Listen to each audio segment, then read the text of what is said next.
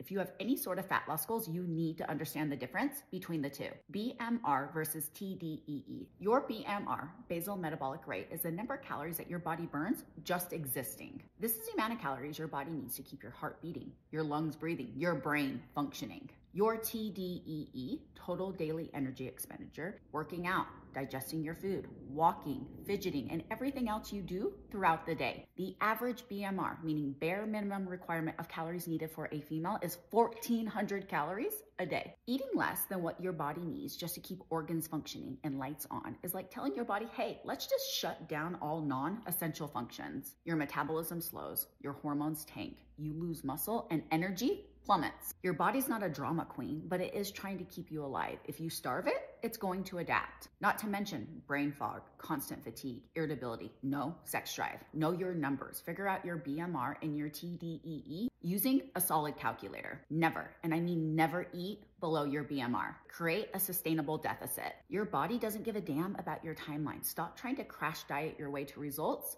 that don't stick. And I know all of these calculations can feel complicated, but don't worry, your girl's got you.